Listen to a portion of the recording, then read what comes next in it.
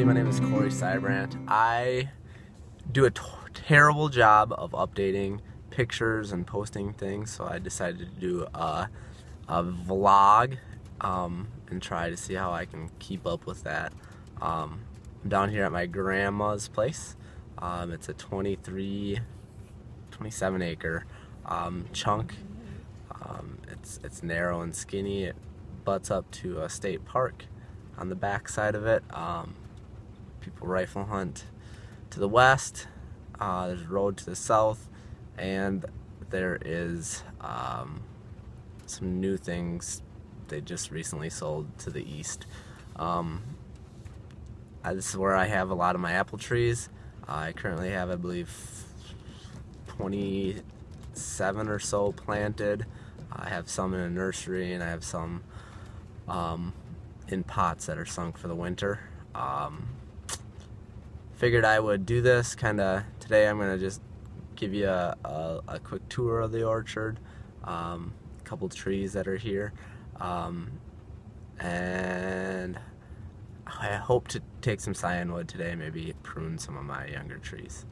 Um, today is March, boy, what is it, the third or fourth today. Um, so yeah, it's raining out, kind of a crummy day, but um, hopefully some of this snow goes away. About a foot and a half of snow that I'm going to be trouncing through. So got my trusty sidekick here. She's ready to roll. Um, hopefully I can get a lot of this done and get some scionwood sent out to some guys that were, were wanting some. So join and come along. Alright, I'll kind of pan around here. This is the yard of my grandma's. She got some raspberry bush, bushes there. A little pole shed. The old barn. The background there. Apple trees. Driveway. And then just driveway to the road. You can kind of see the road in the background there. Um, up by the house here she has a couple of trees. Um, one of them was planted uh, in the late 50s, she thinks a lot of these planters, that, trees that they planted um, were planted. So this one, um, she doesn't really know the variety of it. I think it's a Haralson, but I asked her about it again um, yesterday, and she said they didn't plant Haralson. So um, I don't really know what to do with this tree. It looks like it's on a small rootstock. Um, it's been dying back. Um, let's see. Sorry. Um, the bark there is looking pretty ugly. Um, you can kind of see on the back side of it there. It's growing pretty good. Um, cambium layers is really it's healed along the edge there. I don't know if I'm supposed to cut out this dead stuff there, um, but last two years I've been focusing on move so you can see it. Focusing on the shoot that is coming up and going up like this. Um, thinking when I prune here um, the next week or so, I will take off those two lower ones there. Um, that'll maybe be a game time decision. We'll see. I'd like for it to. It's all new wood growing up there, and it's been growing up. This must be the third year or so. So I think it might bloom this year. I'm not sure. So I think this one's a Haralson. Again, it's been here for years and years and years. Um, just right next to the house here. Um, and uh, let's look. Have to read the tree tag. Thought a Honeycrisp close to the house wouldn't be a bad idea. In case she can, uh, Grandma's 91 now, so she's in there, probably sleeping away right now.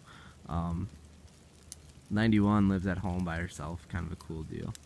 Um, she loves to come out. She loves. I'm her her gardener. She says. Um, she loves that I come down here and visit her all the time. Um, this one was a, a Honeycrisp on B18 118. Um, I grafted this one in the spring of 2016. So um, it's about five feet tall now. Um, I have to do a little bit of. I'll probably trim this one down all the way to a whip once I get get over here and do that. Maybe leave those top couple Um, but those are the two trees that I have up here next to the house. So I'll continue on over to the next orchard. Alright, I'm about to take plunge into this awesome snow that we have here. Um, this orchard is just to the east of the old barn. Um, you see I have a food plot corn my deer out there. Um, we'll start with this downed one here. Uh, three years ago, I don't know if it was, it was loaded with apples. I don't know if a bear, raccoons climbed up in it. Um, it had some dead wood down on, at the base here. Finally just gave way and tipped over. Um, but it's still growing for whatever reason. You can see, I mean, there's a bunch of dead wood here. Um, it's rotting away, but on the bottom side here, it's all still connected and sending energy to the rest of the tree. Um, I wanted to take it out, but Grandma thought it would make easy picking, and she didn't care if it looked ugly from the house there. Um, she told me to keep it, and she thinks it's hilarious that there's a downed apple tree growing in in the yard. So um, she gave me this wind chime to keep the deer away. Um, when Grandma says to do something, you just do it. Um, still, it, the buds look like they're beginning to swell a little bit. Looks like it's still going away. I did cut away some some of the wood on this already. Um, I don't want to do too much because the deer really attack it and take away a bunch of the wood. So, um, Paula Red, I believe these next four tree, three trees that I'm going to show you here are all the same variety. Um, she really wasn't sure what they were. Um, she thought they were Paul Red, but wasn't sure. I think they are. They are. They look like a McIntosh apple, so they turn nice and red when they're ripe. So fits the, the description. Um, I pruned. So I, like I said, I cut some of this one, and I already pruned this one. These are the only two I have pruned. Um, kind of hard to see. I'm sorry with the trees and all that. Um, I could probably take a little more out of it, but I don't want to get too crazy with these ones. Um, I'm not really training for a central leader or anything with these, just kind of what they were when I started taking care of them about five years ago. Um, they hadn't been touched for 20 years or so, so I'm just kind of taking it easy on them. Cutting out dead wood, crossing wood, um, stuff that's growing straight up that I can't train and pull down, um, that kind of thing. There's the second tree in. Um, you'll notice um, that's facing south, so these ones are getting a little, I mean there's a little shade to them. Not ideal. I've cut away, believe it or not, a bunch of trees um, in the background here let sunlight in. Um, that oak there is going to need to go here, I think. Maybe the spring. Um, kind of background there, there's some popple sticking high that should probably get taken out too here soon. Um, here's the next tree. Um, I haven't started pruning on anything else here. This one didn't pump out too many apples last year, probably close to a bushel. Um, yeah, kind of an ugly old thing comes up through different leaders coming up out of the up at the base there. Um, these trees usually produce every year. Pretty good crop. My aunts love them to make applesauce and and uh, to bake with and to fresh eat. Here's another one. This one was loaded. This one probably know, bushel and a half, two bushel come from this tree. A lot of new growth since I started pruning this one. It's really responded well. It's a leaner. You can kind of see my grandpa um, back in the day put a board under there with some nails and I don't know, try to keep it up. I maybe could pull on this one a little bit, but I don't want to really mess with it. It's lasted this long, might as well just let it roll. Um, here's a different variety. Uh, I've done a ton of work to this one. This one's, boy, um, been throwing off a lot of new growth and it produced a ton of apples. I think it's Haralson just by how it tastes and um, the characteristics of it. Um, you'll notice it was when I started. Um, it came in forked there. So there's two leaders coming up. I cut the one off because it was really sickly looking. Um, this one's starting to bark's peeling away, and I mean these are old trees, so um, I just roll with what I got here. Um, it's put out a ton of new wood though since I've started pruning it. Um, you can kind of see there. I had to thin this one like crazy. The apples were just ginormous by fall because of all the thinning I did, and they tasted awesome. My family was very happy and impressed with the results of this one. I'm really the only one that does any work down here, and for whatever reason I do it kind of for more so for the deer. I, I enjoy seeing the the trees grow and all that, but my family really doesn't leave any for the deer, so which is awesome. I'm glad they use them, and um, kind of why I'm doing it. Sooner or later, when all these younger trees here start producing, they'll never be able to keep up with all of them. Um, I'll go over here. Alright, so now I'll start with some of my younger trees. Um, this one happens to be a pear. Uh, it was planted, let me look at the tag, I believe in 2015? 2014. Um, it's a Harrow Crisp. Um, been, pears have been an issue. I, if they don't grow good this year and they die back from fire blight, I think I might just yank them out and put something else there.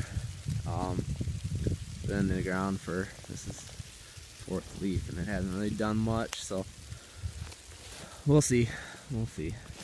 Um, here is my little nursery that bed that I, I made two years ago.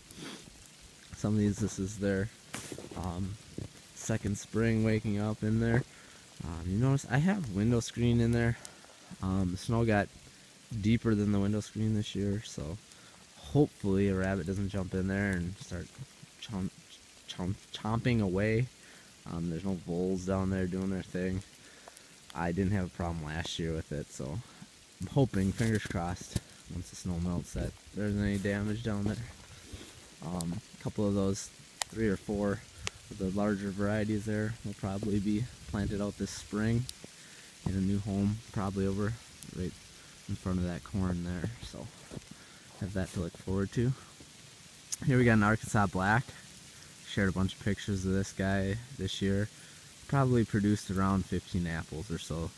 Um, I thinned it back probably another, at least another 15, 20 apples off of it. So, um, pretty good tree. It hung. I picked one apple off of it.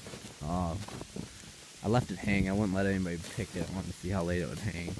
It hung until probably around the 1st of December. I took it off there and threw it out for the deer. Figured I knew it lasted and it hung for a while so the deer could enjoy it. Yes, one apple I did that too.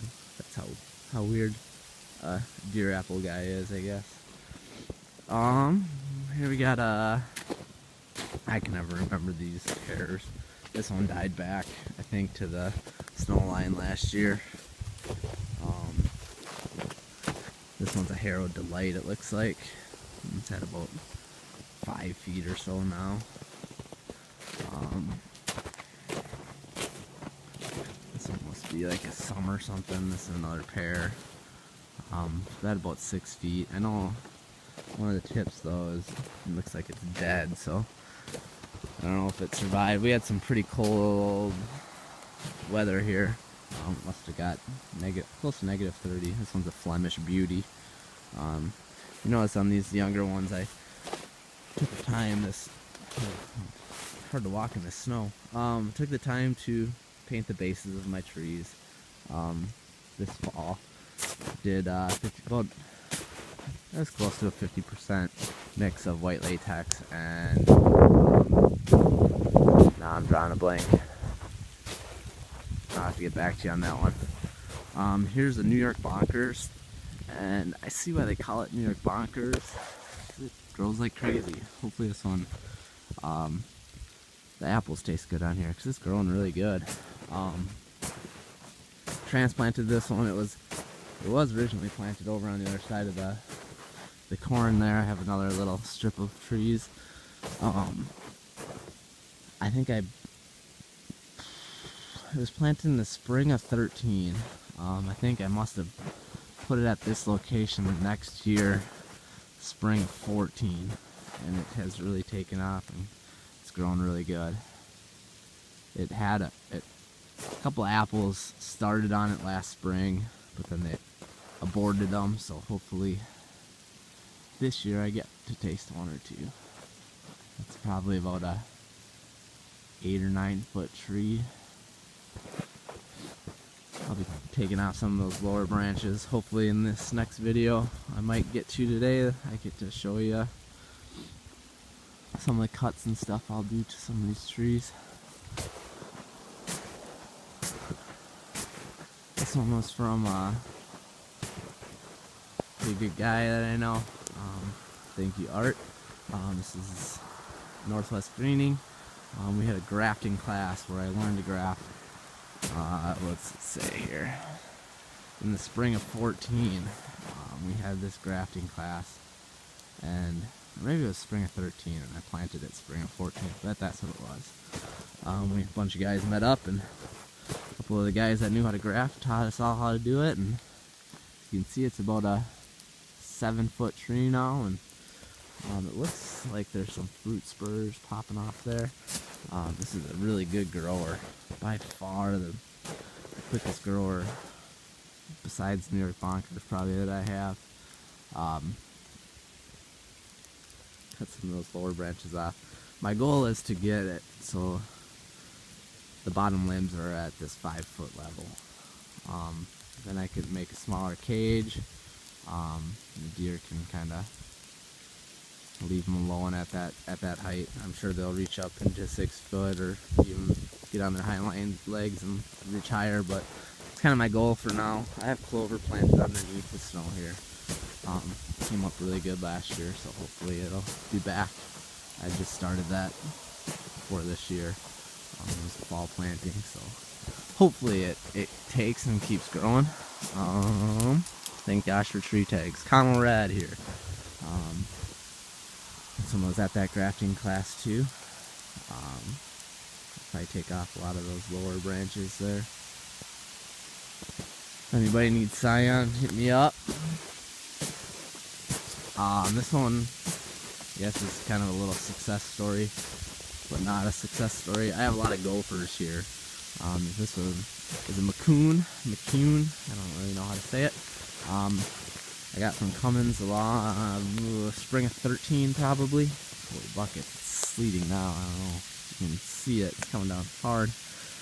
Um, but the gophers got to it totally. I could I could wiggle the tree. There's no roots left. I took scion from it. Um, came over here to another root that had a failed graft on it. Put this one on there, and it's growing pretty good now. I must have done that. Let's see here crafted spring of 16, so putting off some good growth. Probably trim it down to a whip here when I start pruning in a little bit. Here's another good grower from that same Cummins order. Um, Enterprise. Got a lot of wood to cut off. This thing throws out the wood. Holy buckets. Um, everything I hear so far, I haven't had any apples, but everything I hear, it's a great deer apple. Um, it's close to 10 feet tall. Um, growing like crazy. Sorry guys, lost you there. Um, yeah, Enterprise. So far, awesome looking deer apple. Hopefully that continues. Um, I have a new row going. Kind of, you see, I have these cages or these trees going east to west. I started one new one last year and I plan on pulling a couple of those trees from the nurseries and I have a couple in root trapper bags that I'm going to plant along this open spot where this corn isn't. Um, plant clover there and probably this spring and get them planted. Um, this one is a Haralson. Uh, I believe I planted it um, just last spring, so about a year it's been there, just over a year. Probably clip off the, all those lower ones and let it keep growing. It's about close to five feet tall. So that sums up. I don't know. I haven't named this part of the orchard. I guess I could call it the barn orchard. Um, it used to be. You can see the old post there enclosed. Um, I pulled out that majority of the fence was all run down. Deer knocked it down and stuff. So it's been up for years and years. Um, but eventually, um, there'll be a line of trees here going towards that maple over there. And hopefully this whole, eh, this corn isn't very big, you can kind of see the other side there. Um, that'll all be apples here in the next couple years. Just on the other side of the apples there, I have another orchard. Um, I'll take you over there in the next part of this video series. Um, keep following along, guys.